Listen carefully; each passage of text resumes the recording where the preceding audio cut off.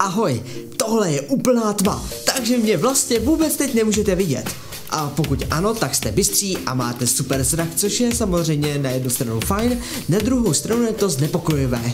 Nemít světlo znamená nemít obraz a když nemáte obraz, tak jste nahraný a u Indiana to platí dvojnásob. Na startovači jsme vás žádali o vaší podporu, abyste nám pomohli. Za to vám ještě jednou obrovsky děkujeme. No a díky vám můžeme mít světla.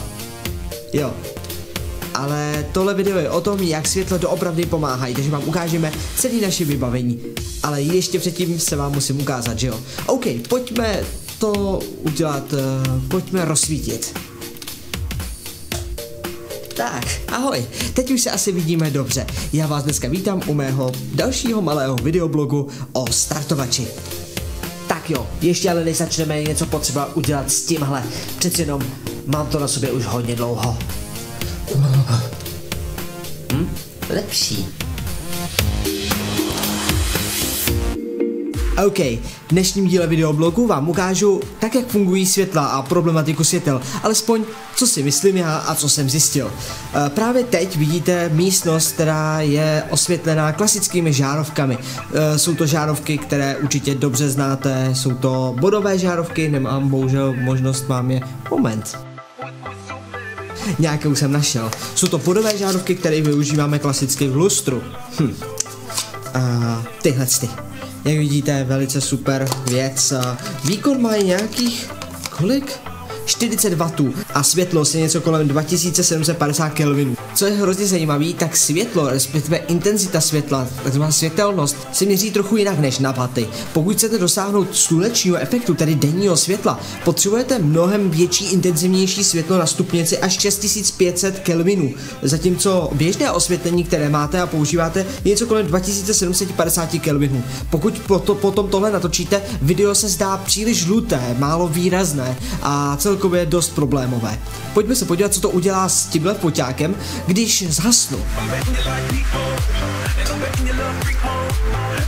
Je zhasnuto a najednou vidíte, že máme trochu problém. Za mnou jsou obrovské stíny, já jsem osvětlen jenom tím, co mi dává v okno, ještě když mohu mám zatemněné. Pokud bych ho otevřel, samozřejmě můžu použít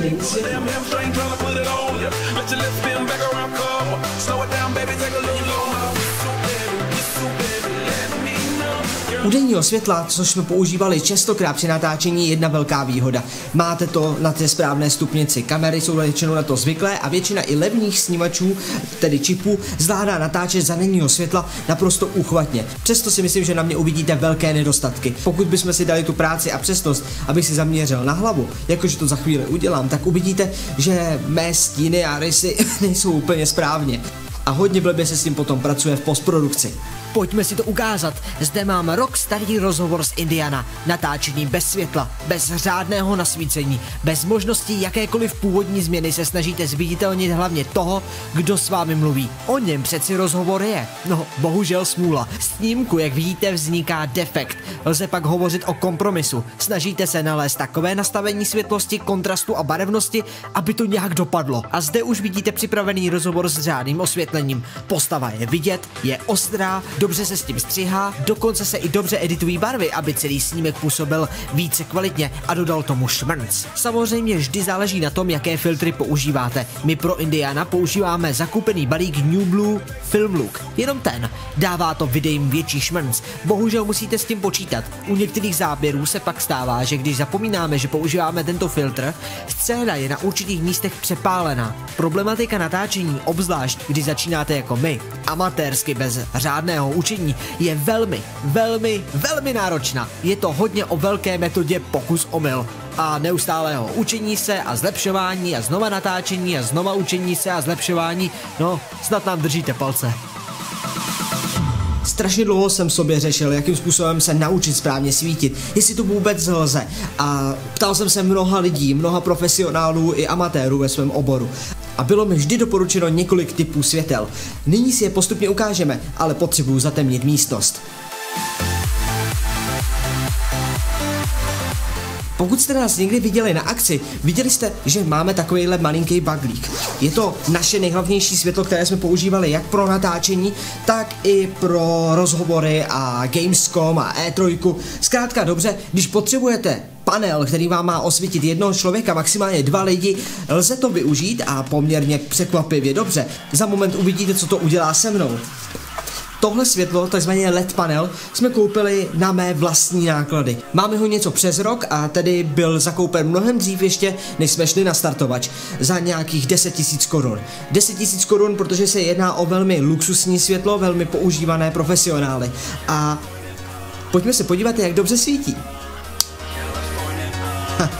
v tuhle chvíli svítí a svítí na stupnici pokojové teploty, vidíte žluté světlo. Zatímco, pokud bych chtěl, Můžu světlo změnit na modrou, až modrou, takovou tu nepříjemně modrou. A tohle to vám dává při, pro natáčení ohromnou sílu. Můžete si sami určit, jak velkou intenzitu světla potřebujete. A taky, jakou barvu. Pokud například jste na nějakém slunečním prostoru, eh, kde potřebujete osvítit člověka, aby nějakým způsobem to dobře, dobře vypadalo například pro rozhovory, tak se snažíte vždycky dosáhnout ideální barvy. Pokud bych zapnul žárovky, jakože to teď udělám, tak v tomto pokoji máme žluté světlo. Je to to pokojové. Samozřejmě, můžu... Moment. Samozřejmě tomu můžu přidat, jednoduše, eh, jednoduše si přidám eh, na barvě, která je žlutá, budu ještě víc žlutější a budu ještě mnohem víc kontrastnější. Samozřejmě to tak můžu udělat, nebo najdu cestu, jak si to nasvítit eh, přibližně správně barevně. Nejsem si jistý, jestli nejsem náhodou na kameře tykom přesvícený, ale snad mi to odpustíte. Důležité je vidět, co to dělá, že takovéhle světlo vám může pomoct. Pro aktuální demonstraci jsem se trochu přesunul ku předu, protože přeci jenom tam uvidíte větší detaily. Ačkoliv se nepovažuji za fotogenika, dneska mi to fakt sluší. E, právě teď jsem osvětlený klasickým světem z místnosti, mám zatažený žaluzi a snažím se tu mít co největší šero. Naštěstí fotoaparát Canon 600D má výbornou čočku a má i výborný snímač. Zvládne natáčet po, docela poměrně temné místa a dokáže je natočit dobře. Přesto mu trochu pomůžeme. Samozřejmě, e, ve chvíli, kdy vidíte vy uvidíte... Moment, mám ještě lepší to. Myslím, že je vidět, že je to mnohem lepší. Právě teď jsem udělal takovou aktualizaci toho, že jsem to připoutal nad uh, foťák. Má to několik nevýhod. Pokud mám brýle, můžete vidět, že tam mám velké odlesky. Ty velké odlesky s tím jsme bojovali v Indiánovi mnohokrát. Existuje spousta materiálů natočených, kde máme právě odlesky a proto tenhle ten LED panel používáme hlavně pro rozhovory, uh, když děláme například head to head, kdy to není, uh, že bych mluvil přímo do kamery, ale když mluvím směrem k moderátorovi, nebo když eh, někoho vyspovídáváme. Je to takové lepší, protože v tu chvíli eh, úhel je někde jinde, ten odlesk je v pořádku a hlavně, co je strašně důležitý, je vidět vždycky tomu dotyčnému do tváře. S tím jsme bojovali hodně času s Indianovi, když jsme například chtěli někoho natočit, byla úplná tma a my jsme toho nemohli osvítit. Tímhle tím LED panelem jsme vyřešili většinu starostí. Přináším druhý LED panel. Ten jsme koupili už za startovač. Když jsme totiž natáčeli, většinou jsme chtěli osvětlení ze dvou bodů. Má to logický důsledek, například osvětlení na mě a na Gelua, když děláme moderátorské vstupy, aby to dobře vypadalo. Přeci jenom nastávají chvíle, kdy potřebujete, aby dva odlišné videotýmy nahrávali jiný obsah a v tu chvíli nemůžou využít jedno to a to samé světlo. Můžou si ho půjčit a můžou si ho půjčovat, ale například na Gamescomu by to bylo prakticky nemožné. A právě proto jsme zakoupili jiný typ. Zakoupili jsme tenhle ten Aperture, a teda jmenuje se Aperture, ale najdete ho na internetu pod mnoho mnoha, mnoha, mnoha dalšími jakoby nicknamy. Je to trochu levnější verze, je to velmi levná verze. Takovéhle světlo najdete už za něco kolem 2,5 hmm, tisíce, 3,5 tisíce korun oproti těm 10 tisícům ten LED panel, tak je o dost menší, když se podíváte, ale zářivost tu má naprosto stejnou. A také má tu schopnost měnit barvu. To byla velká jakoby, důležitá věc pro mě. E, profesionálové mi spíš doporučovali ten, který mění úhel, že můžete udělat tak, takzvaný spotlight, ale já jsem se rozhodl spíše pro to širší řešení, kdy naopak si radši ustoupím a svítím z větší dálky, ale hlavně je to zase o něco, je to zase o něco lepší. Například, když bych to měl takhle, on tam koukám, že fotoaparát něco automaticky kalibruje. Asi jsem to zapomněl vypnout, ale nevadí. Ten rozdíl ale uvidíte velmi za chvíli. Chtěl jsem vám zkrátka ukázat, na co jsme natáčeli do posud. Když jsme natáčeli s Giluem, tak jsme si vždycky sedli, na kameru si připíchli ten LED panel, aby jsme si osvětlili to místo a časem nám došlo, že to je špatně. Buď jsme používali klasické žárovky, ještě které jsme si dosvicovali, to samozřejmě dělalo špatné světlo, takže kamera byla rozostřená, protože nedokázala za, zacílit v tom světle a v tom osvětlení uh, správně ty lidi. Já jsem to musel naopak hodně stmavit a pak jsem to zase sesvětloval, tím vznikal šum. Šum jsem musel kalibrovat, bylo to spousta otřesné práce. Ale teď s příchodem startovače a díky vašim příspěvkům, které jsme dostali, jsme nakoupili světla, která vám ukážu a která jsou ve skutečnosti všude kolem mě. A ukážu vám smysl trojbodového svícení, které mi vysvětlili uh, drazí kolegové z branže a díky kterým můžeme nyní nasvítit celého Indiana správně i pro televizi, i na YouTube, zkrátka kamkoliv. Uh, ukážu vám, o co se jedná.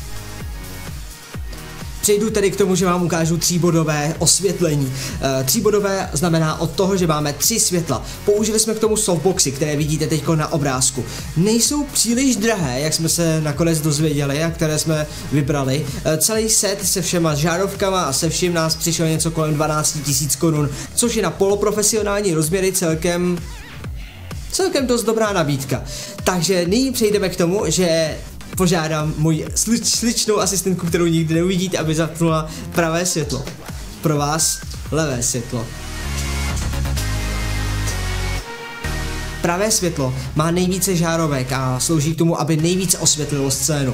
A to z toho důvodu, teda alespoň proč jsem se ptal, proč to tak musí být. Tak eh, všichni osvětlovači a se všema, kterými jsem se bavil, říkali, hele, vyber si jednu stranu, jedno kterou, ale z jedné strany to prostě naper. Naper, ať máš osvětlenou tu scénu, jak vidíte, vrhám nějaký uh, stíny, tohohle fleku si nevšímejte, je to z toho důvodu, že jsme hodně blízko k těm světlům. Takže momentálně uh, tady ty fleky jsou, ale do Indiana se snažíme je minimalizovat zrealizovat, anebo aby tam vůbec nebyly odlesky. Jestliže máme jednu stranu, máme ji nasvícenou, tak potřebuji poloviční výkon z druhé strany. Pojďme se podívat, jak to vypadá, když rozsvítíme druhou stranu tuhle chvíli, protože se nevidím, tak uh, vyloženě vám neřeknu, jestli vymizely opravdu všechny ty neduhy toho záznamu, ale v tuhle chvíli by jsem neměl mít nikde na sobě vyloženě stín a dokonce bych měl vypadat docela dobře jako postavově právě na, svět, na svíceně právě pro foťák a to je asi to nejdůležitější, co potřebujete vidět. Vidíte taky to, že uh, vymizel stín, který šel z téhle vlastně zprava sem a ten, co jde zleva, sem. A zároveň se ale přidali odlesky. Tady, tady. Jak jsem říkal, těch si nevšímejte. Pojďme na poslední světlo, které je určeno ze zhora. Má za úkol udělat obrys postavy. Se všemi třemi světly máme osvícené celé studio, nehážeme stíny, háže trochu odlesky, ale ve finále důležitý je, že postava vynikne. Postava vynikne, pozadí je také vidět, obzvlášť se tohleto hodí pro zelené plátno, které jste viděli ze začátku. Zelené plátno díky tomuto nasvícení můžete klíčovat, i když na tom plátnu jsou hrboly, když prostě to není jednolitá barva, pro spoustu potřeb to plně dostačuje. Nyní uvidíte vlastně ukázku toho, jak to vypadá, když necháme světlo jenom ze zhora, abyste měli představu, kam vlastně to světlo dopadá a co to dělá se scénou.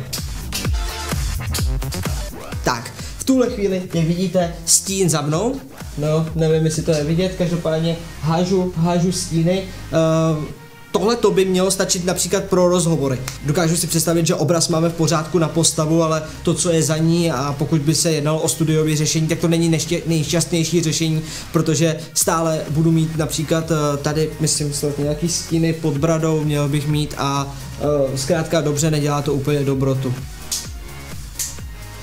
Nyní uvidíte, jak to vypadá zleva pro vás zprava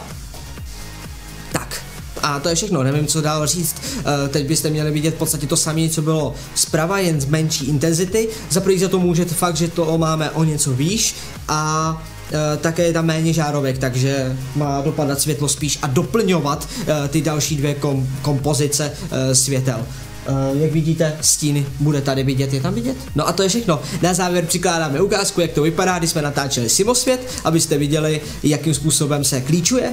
A to je pro tuhle chvíli všechno. My se s vámi ještě ozveme, jak budeme mít hotové studio. To vám budu už já a Gelu, kde vám ještě jednou poděkujeme a ukážeme, co jsme všechno nakoupili hezky souhrně.